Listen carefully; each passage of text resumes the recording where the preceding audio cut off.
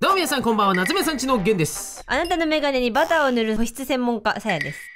お前本当にメガネユーザーかっていういや本当にやばい。疑われるそ発言だと思うんですけど、バターはやばいって。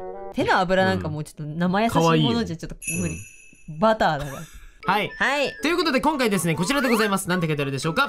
せーのピザカッタ強 凶悪すぎるだろ いやピザカットするやつだと思った、思ったよ。ピザカッターだよみんな、はい。普通に文字通り受け取ってちゃった、ほんと。ごめん。勘弁して。ということで今回こちらです。絵本本まあ皆さん。横から読むとのへ いらん情報足すな。ということで今回やっていく企画はこちら。こちらもどうぞごちそうさまでした。えい 責任取ってお前が言え今回もタイトルコールを。はい今回やっていく企画は愛おしすぎて可愛すぎて尊すぎる我が子のためにパパとママが血ヘドを吐きながら絵本を完成させようと思います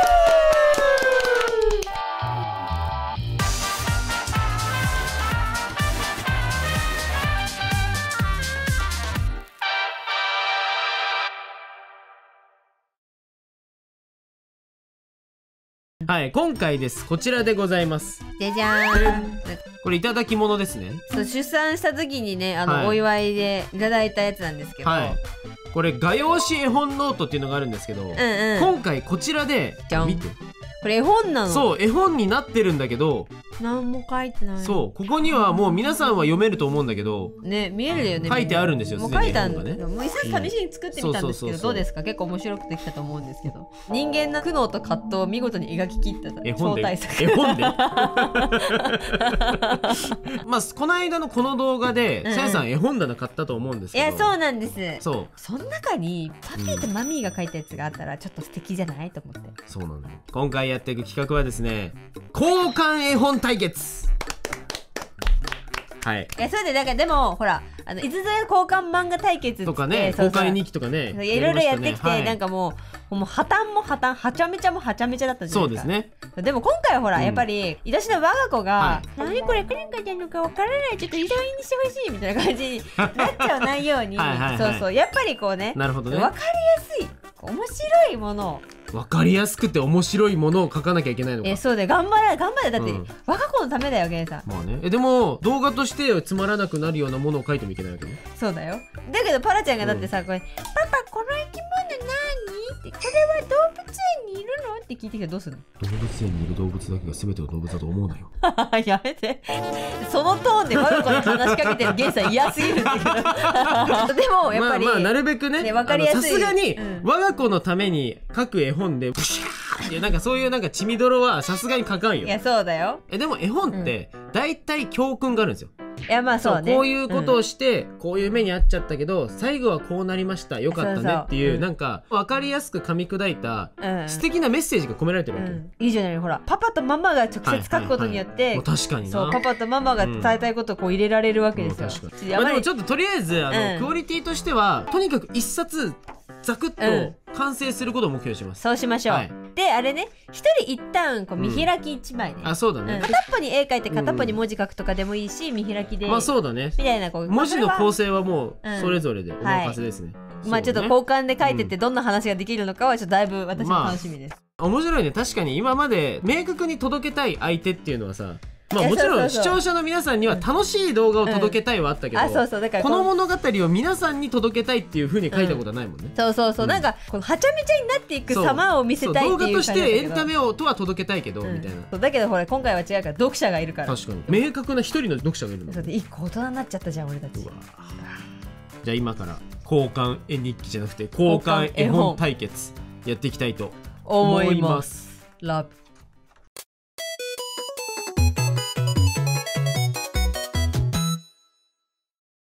我が子のための交換絵本1ページ目さやぴ担当でやらせていただきます。いきます。ここはやっぱり夏目さんちの神ストーリー代表のゲンさんに丸投げする形でゲンさんという犬に向かってフリスビーを投げる気持ちでクソデカフリスビーを投げる気持ちで書いていこうと思います。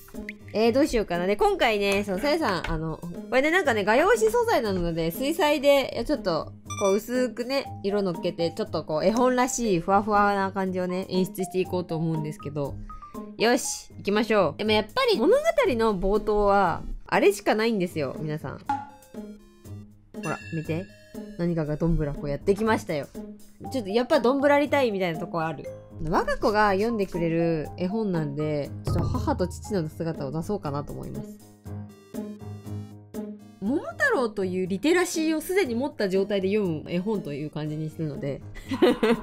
桃太郎というリテラシーがあった上であの読む物語を今から作っていこうと思います。できました。物語です。やばいちょっと待って発想が早すぎてやばい。この企画やりたすぎてさここまで書くのに10分ぐらいしかかかってないんだけど。絵本って漫画とやっぱ違うからさセリフをあれもこれもってできないし情報量が限られてくるのでやっぱこう伝えたいものを端的にね載せる必要があるよね。やってることとやってることは全然違うんだけどねさやさんね。まずここから源さんに取捨選択させるってとこが大事。源さんはこの中のどのモチーフを選ぶのかっていう心理テストみたいななんか。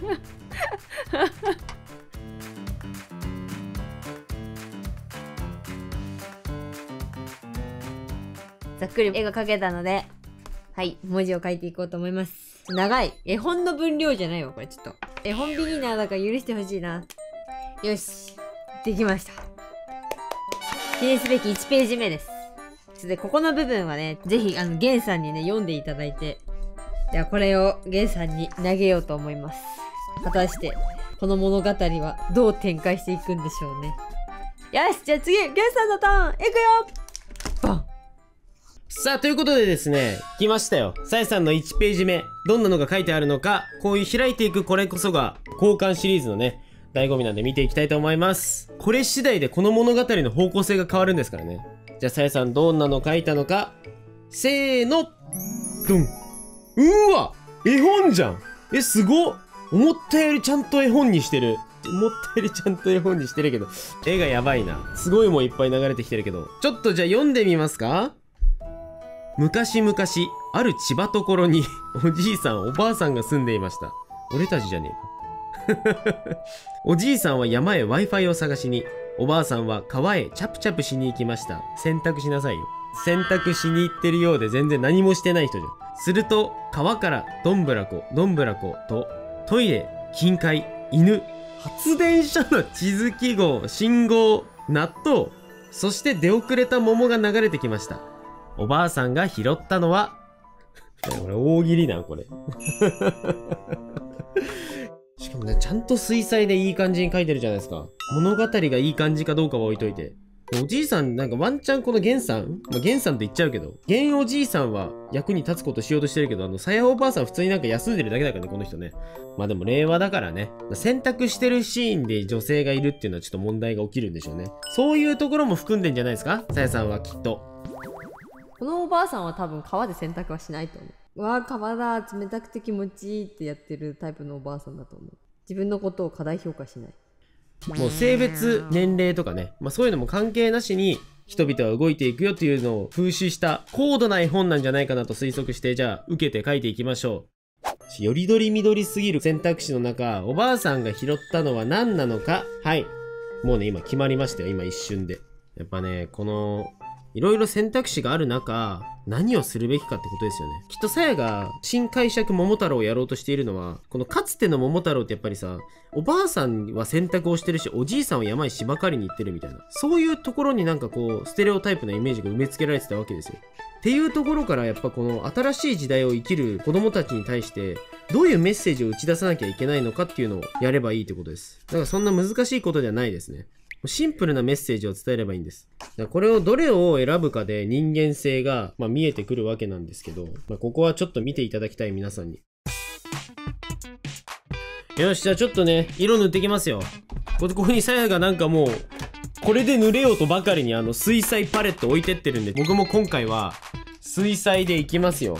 普段やらないですけど。もう全然わからんけど、まあいいや。ぐりぐりいきます。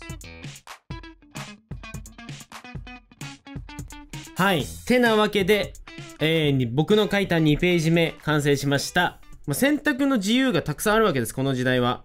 選ぶのも自由、選ばぬのも自由。そんな中おばあさんが取った選択は全部です。全部ねすっげえ悪い顔してますけどいやこれ悪いことじゃないですよ別にチャンスがあったら全部2頭大物しか2頭得られず書くんですこの状況でおじいさんとおばあさん一体これを拾った後どうなっていくのか何やら声が聞こえてきましたやなんか楽しいな。でもなんか絵本っぽくない？ここからどうつなげていくのかさやさんにね託していきたいと思います。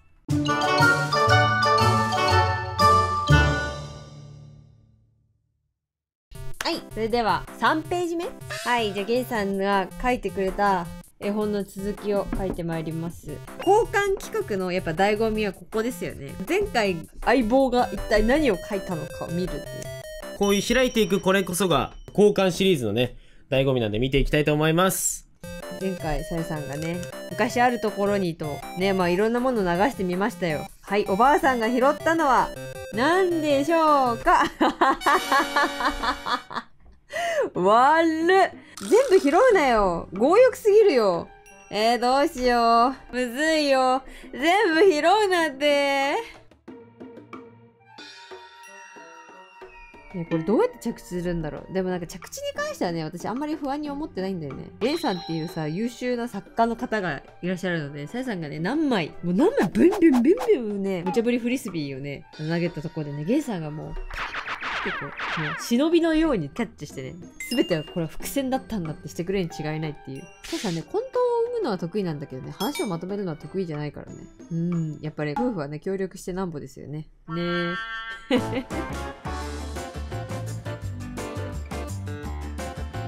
はい、終わりました。というわけで3回目。こんな可愛いスタートしたのに、こんな顔が2枚目に来てる。というわけで、全部から生まれさせてみました。まあね、これは桃太郎リスペクトのね、絵本なので、これさやさんがね、そう思って書いてるので、ちょっとこれをまたゲンさんにね、頼んで、一体この子たちが活躍するんでしょうかねなんか次のページからいなくなってそうな気もするな。はい。というわけでね、こんな感じで、じゃあ次のページ、4ページ目かな。じゃあ、ゲンさんに投げてこようと思います。さあではですね来ましたよ。全部受け取ったところから次に来るもの。さあさやさんどんなものを書いてくれたんでしょうか？全員から生まれたんだ。読んでみましょう。その声はおばあさんの手元そう根こそぎ拾った者たちから聞こえてきたのです。よく見ると中から小さな生き物がこちらを見ています。おばあさんの強欲の結果大きな責任を手に入れたのです。全部生まれちゃったんだ。しかも三つ子いるしここ。おばあさんはいろいろなものから生まれたこの子たちに各種太郎と名付けました。やはり桃は出遅れました。いろいろ突っ込みたいところはたくさんあるんですけど各種太郎っておばあさん急に適当でしょ。全員名前つけてあげてほしいわ。そうか全部拾ってしまったからこいつら全部出なきゃいけなくなっちゃったのねこれちょっと僕が画面内のキャラ数を増やすという愚策をやってしまったかもしれないでもこの大いなる責任が伴ってるのはまあいいよね教訓的には悪くないよね。そうだよね。強欲の結果、ちゃんと因果応報が学べる絵本になってるわけですよ。まあでもそこからどう展開していくのか。じゃあ行きますか。でもね、ここからちょっと、やっぱゲンさん、違う方向性を提示していけたらなと思います。やっていきましょう。やっぱりね、皆さんね、あの、気になるとこじゃないですか？みんな気になるでしょ、こいつ。おじいさんはどうしたの？と。Wi-Fi を探しに来てるわけですから。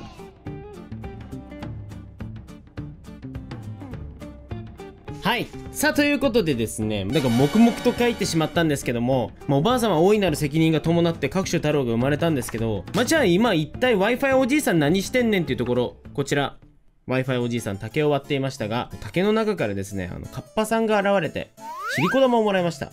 でもね、ポコロカパカポロポコポコポコポイマイマポロまあ、何を言っているかさっぱりわかりませんでした。まあ意図せずね、こうコミュニケーションを取ることができないが、しかし何かを受け取ってしまったという。一体これね、シリコ玉の渡された意図とは一体何だったんでしょうか丸投げです。すべて投げました。まあちょっとあの竹を伐採しすぎてる感があるんでね、カッパさんは困ってるから一体何かね、これで手打っちゃくれねえだろうかみたいなそういうことなんですかね？まあ、ちょっとそこのシーンは僕にもわからないんですけど、この先、さやさんが何か繋げてくれるはず。こちらを信じて渡していきましょう。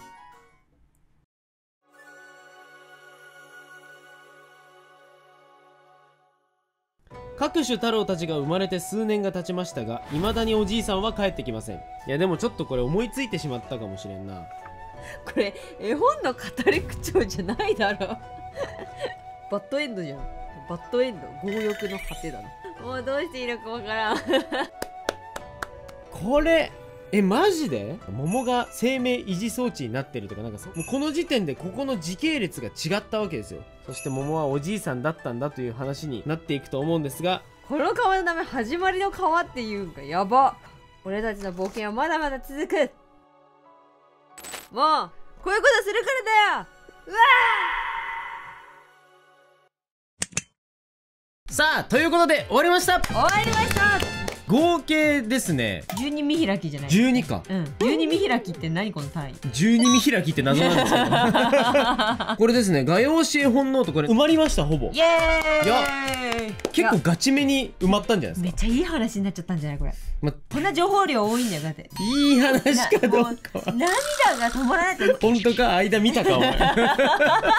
俺たちだってさ、こう人生の教訓をこう、うん。我が子に伝えるとまあ確かにねわけだから。何かしら自分たちがこの人生で得た教訓がちょっとでも入れたねエッセンスが入ってるはずだよな。はずだよ。当たり前よ、うん。完成形最後はサイが書いてくれたんで僕知らないんですよ。もいやそうそうそう。最後のページはさやさんがキュッと締めさせていただきました、無理やり締めたと思うので、まずでも我が子に読ませる前に、はい。ちょっと自分たちでね。そう検閲しなきゃ。まずいものろかもしれない。ろくでもないやつが書いてるかもしれかないもしれないから、うん。さっきと言ってること真逆すぎて怖いね。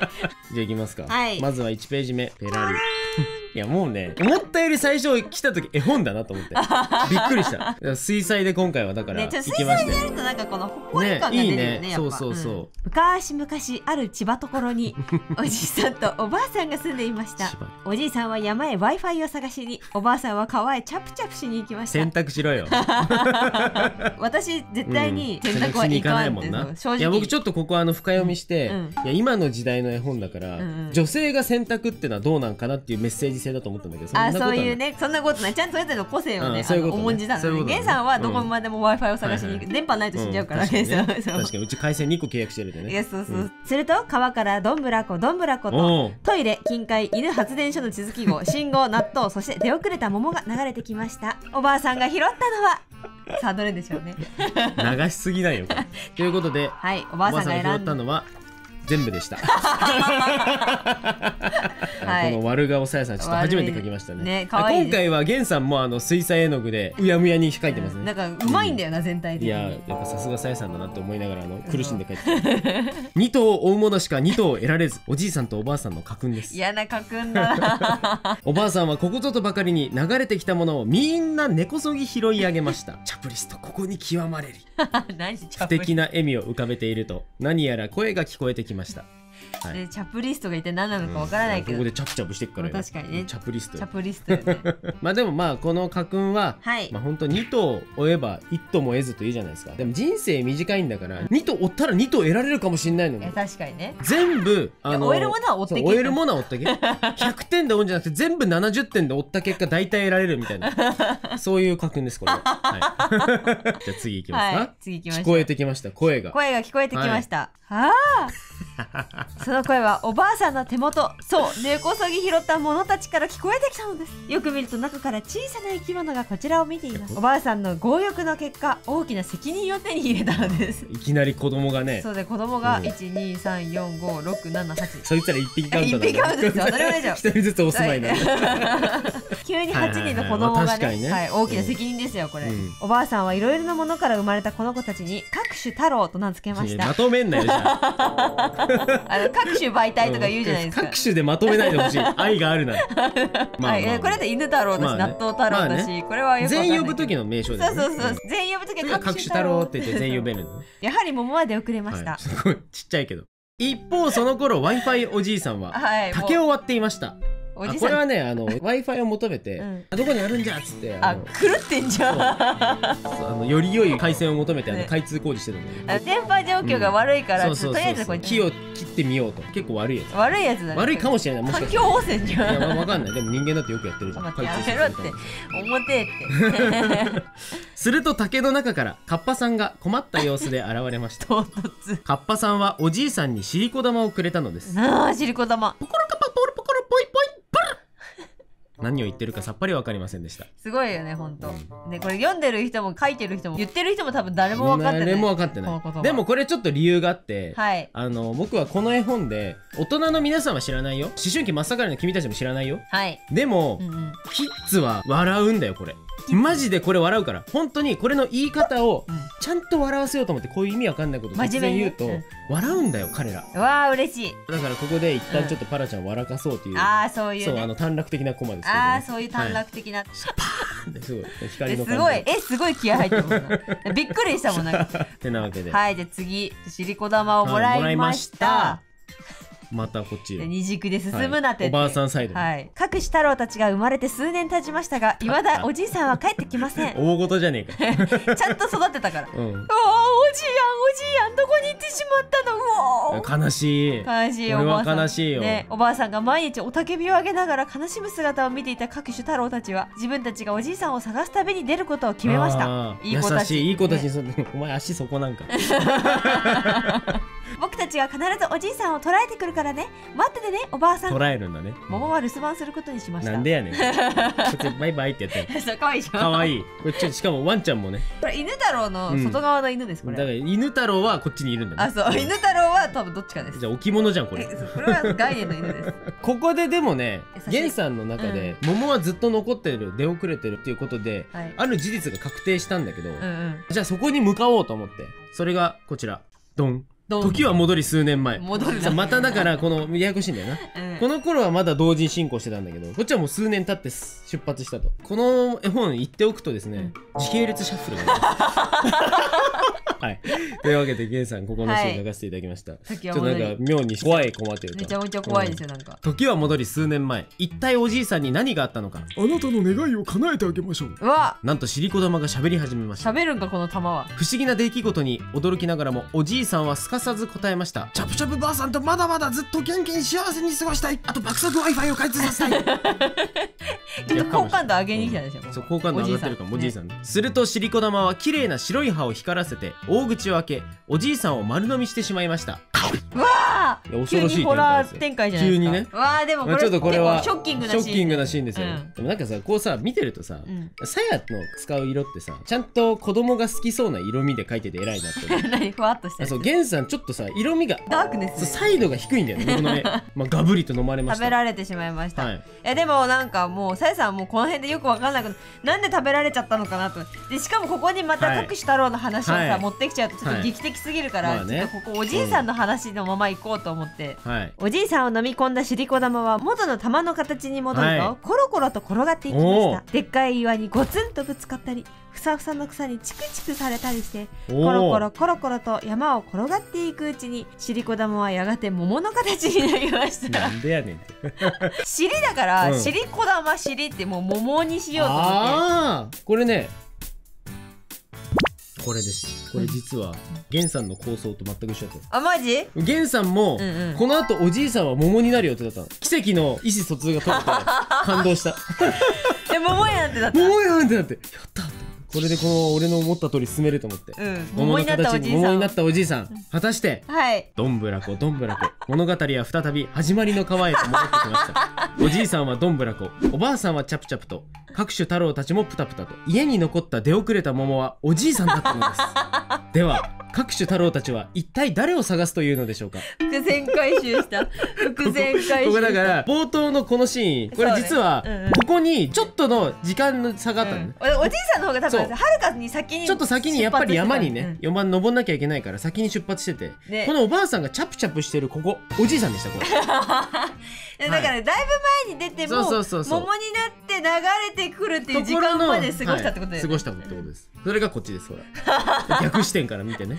やばい ちゃんと見開きで書きました。そうそうすごいパノラマなんだよな、うん。始まりの川に戻ってきましたって言うけどさ大したストーリーないのよっていう。この名前はねあのすごいストーリーがあって全てはここから始まったっていう時に使うのであって、全てはここから始まっとるよだっておじいやんがいなくなったから各種太郎は今旅に出ちゃったん確だかにおじいやん。だから、はいじゃあ各種太郎は一体何探すんねん確かに。かわいそうだよ、はい。うん。まあ、それはさやさんに任せましたねけどね。はい。もはい。うかわいそう、私はやっぱ我が子たちなんで、はい。うんうんやっぱ数年育ててるんで、はい。ちょっとやっぱ活躍してほしいなと思ったんで、しすぎなのよ とっても真面目におじいさんを探していた各種太郎たちは山の中でおじいさんのものと思われるちょんまげを見つけました。いやそうなんかちょんまげ切れてたよねそういえばね。いやそうなのこれは証拠だってなって、食われちゃったんだって。そう。そしてこの頃山の麓の村を襲っている悪い鬼がいるという話を。はい聞いていた各種太郎たちはおじいさんは鬼に襲われたんだと考えそうそれぞれの得意なことを生かして、悪い鬼を懲らしめました。はい。ちゃんとみんな得意す技ごい。得意技強すぎる。こいつだけビーム。こいつは近海で殴るあこれ金塊で殴ってくる。そう。これはわかる。まあわかる。あのトイレだけど水はわかる。あそうそう。まあまあまああの信号のビームもまあわかる、う納豆のつぶてもまあちょっとわかるのよ。納豆のつぶちょっと嫌な感じだし。あとこれ犬をけしかけてる。うんそう、これがわかんない、うんこれは犬を置いてきたんじゃないの？うん、あのもう犬の概念っていうものを生み出せるからあのそういうこと？幻影を出せる。あそういうこと？もう犬の能力を持ってる。式神やんもう。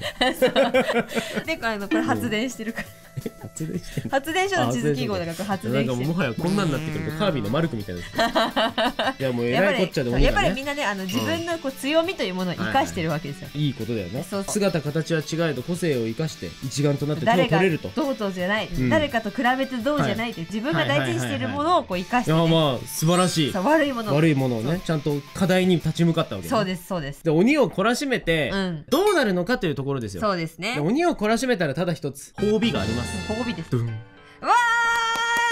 いやもうこのページ超好きだった。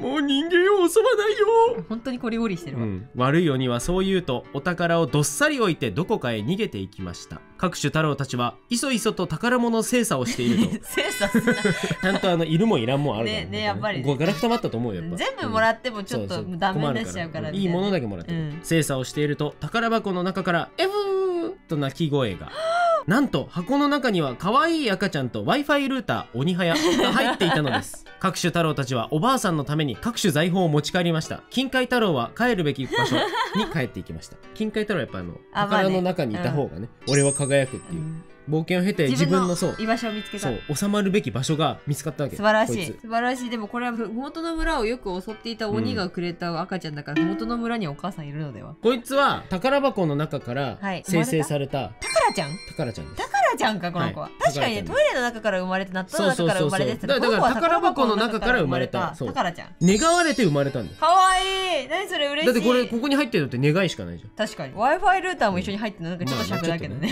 まあね願い箱の中から生まれたんだあら素敵。これはきっと秘宝ですよ。じゃあフィニッシュに向かいまいやしょうか、そうこっから先僕は知らないんでね。いやこの次はい。いきます。パラリラ。おお各種太郎たちは一度おばあさんの元へ帰ることにしました。おじいさんが見つからなかったことを謝りました。おばあさんは温かくあかあかかかくみんなを迎え入れました。はい。みんなが無事に帰ってきて嬉しいよ。鬼早 w i f i ルータでおじいさんをおびき出せるかもしれないね。おじいちゃんなんなん まずは家族が増えたお祝いに桃でも食べようじゃないか。おばあさんは留守番していた桃をパカーンと割ると 中からなんとおじいさんが生まれました。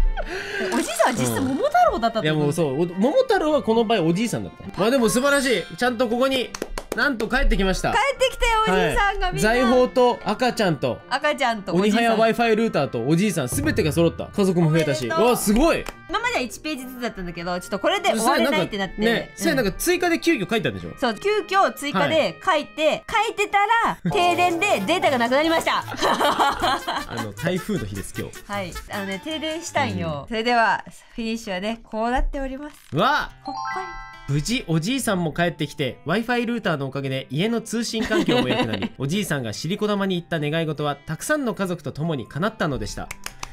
素敵。大団円ですよ。何これめっちゃいい絵やなこれ。めちゃめちゃいい絵やんけこれ。おじいさんは言いました。2頭追うものしか2頭は得られず。でも3と4とも欲しがっていいよね。欲はたくさんあってもいいもんね。大家族になったおじいさんとおばあさんは各種太郎たちと赤ちゃんと幸せに暮らしました。とさ。めでたしめでたし。いやいやいい話いい話じゃいないか？どうですか？なんか交換でしょこれ。そうだよ。まあ最後最後2ページ書いたとはいえ、収まったんじゃない？そうだしかもよく見て。うん。独立してるやつもいるからね。確かに。ちゃんと育て上げて独立確かに独立もした、うん。み帰るべき場所ね。新しい家族も増えて独立して、あのね。無事に育て上げてはい。おじいさんも帰ってきて、うん。髪は失ったけど。でもやっぱりこれもしかしてここか？そうここだ。やっぱり、うん。この絵本のはい。主題、うん。まあ、ここ最初にも言ってるしね。そうこの家訓を。そう。まずこう欲しいものをはい。明確に、そうだね。そう。たどり着きたいゴールを明確にして、はい。それはたくさんあってもいいよっていう。そうだよね、うん。たくさんあってもいいしそれが途中で変わっちゃったっていいわけだ。でそこに向かって行動するのが大事ということを、欲深きものでいいと。えそう。言いたいんだけど、うん。こいつ完全に他力本願で幸せになってるから、まあちょっと伝わりきらないところはあるこいつは3年間耐えたんだよ。あもうね。お前一番辛いぞ。喋りもせず。桃の中で。このし意思疎通できる。バイバイしてたも。確かに。あ動きはできるかもしれない。えでも一番辛いよ。あの歯がゆいよ。おばあやんがね。そうだよ。毎晩まあおたけび上げて泣いてるのにそうそう。ここにいるのにしてポンポンって桃が毎日励ましてくれるんだけど自分だということは口に出せないんでしょ確かに悲しい。悲しい。えしかもでもおじいさんがいなくなったからこそうんいなくこなって、ね、の各種太郎たちが無事に育って。そう無事に育ってしかも各種太郎たちがうん。この願い箱からうん。赤ん坊をねと w i f i ルーターを得ることができたわけ。やっぱもう全てのものが関係ないように見えてあ確かに。複雑に絡み合って それが人生ということ確かにね。そう。だからやっぱりいいもこう悪いもある。うん2とは全部追っとけ3と4とも追っとけというそう。追ってっていいし、追ったところで事故が起こることもあるけど、ん。最終的には信じて進めば違った形でもいいことが起きるよってう。わーすごい。なんかもう言葉にしてないことがあまりに多すぎるこのよ。いやいやいや読め。読め。裏を。込められたメッセージを読んでほしい。数年間歯がゆい思いをしてたおじさんが。悲しいよおじいさん。クソ積もるんだからそうだよね。でも数年間この各種太郎たちを優しい子に育って、でおばあさんのためにおじいさんを探すっていうさ、その過程がないとおじいさん生まれられなかったんだもんね、だから全ては複雑に絡み合ってるの人生は。確かに。でも一番面白いのがさ、おじいさんと各種太郎たちこれファーストインプレッションなんだよ、ね、確かに。出会ってないんだよ 初めて出会ったえでも一緒に流れた仲だから。あ確かに。お流れフレンズだった。そうそういやいい話になったんじゃないですか。いい話だった。いやね。これしかも地味に結構かかってますよ。これ冒頭撮影開始からで言えば1週間ぐらい経ってる。やっぱ数時間ずつぐらいやってるから、うん。そうそうそう。もう日をまたいで交代してってね。いややっぱり時間をかけて感動的な物語を作れましたた打ち合わせがないから尻滅裂ではあるんですけど。この物語にタイトルをつけるとするなら俺一つあるよ。はい何ですか？カッパはいずこ。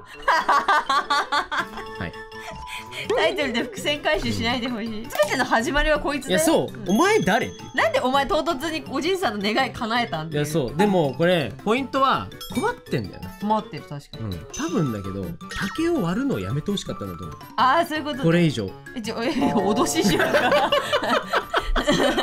ということで、はい。夏目さんち我が子に向けて。向けた絵本ですが、はい。まあ、意味がわからない時に読ませてあげよう。まあ確かに。まだわかんない。よ今のうちに読ませとこあぜひあのね小さいお子さんをお持ちのね、はい。お父さんお母さんおじいやんおばあやんの方はね、はい。この絵本子供に読ませてあげたいかどうかっていうのをねうそれは各種判断をお任せいたします、はい。あの精査していただい。て、精査していただいて。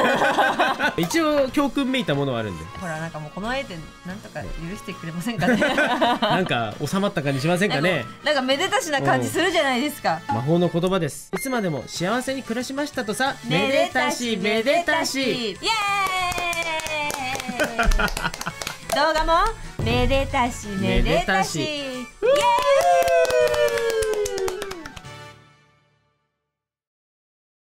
じゃあこちらを出版していただける出版社さんのお待ちいただはいお待ちしております。おりますのであのぜひはい。夏目さんちのメールアドレスまでぜひご一報お願いいたします あの本当あの冷静になってください。冷静になってください冷静になってください。うん。振りじゃないですから、うん、1週間ぐらい冷静になってからにしてください。よろしくお願いします。よろしくお願いします